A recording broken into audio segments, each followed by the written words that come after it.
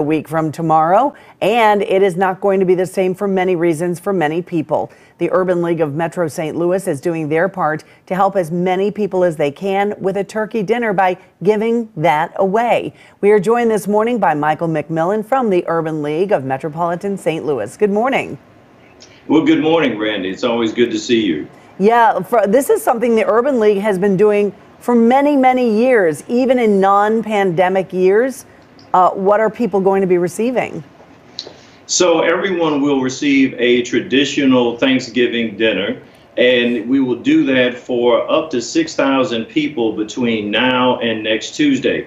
This coming Saturday, we'd like to invite the entire region to our headquarters right behind our old Sears building, Victor Roberts building headquarters at Martin Luther King and Kings Highway this Saturday from 12 to 3 where we will serve up to 3,500 people at that event. And then we will also have two more events on the coming Tuesday at our Jennings Station location and also in, in Cahokia. So we will make sure that we serve the entire region because quite frankly, Randy, we've been bombarded by yeah. so many people who have lost their jobs and don't have the opportunity to take care of themselves this Thanksgiving. Yeah, still trying to find something to be thankful for. This is a drive through event, so how exactly is that going to work?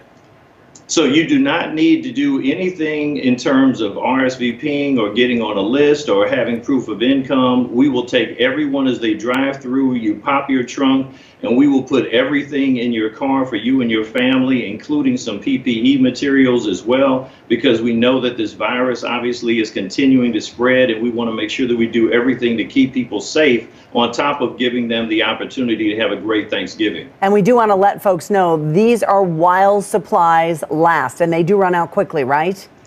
Absolutely. It is on a first come, first serve basis, courtesy of TIAA Bank, Schnucks, the RBC, the Taylor family, and so many other partners that have come to help us.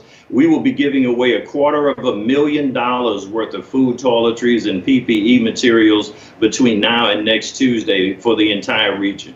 Well, Michael McMillan, we always appreciate the great work you do at the Urban League here in St. Louis. So thank you for joining us this thank morning, you. getting the word thank out. You. The 23rd annual Thanksgiving food distribution at the Urban League. Uh, we, there are the, there's the location this Saturday, two more on Tuesday. If you want to keep track of where they're being held, you can jump on our website, fox2now.com, or you can uh, go to our mobile app.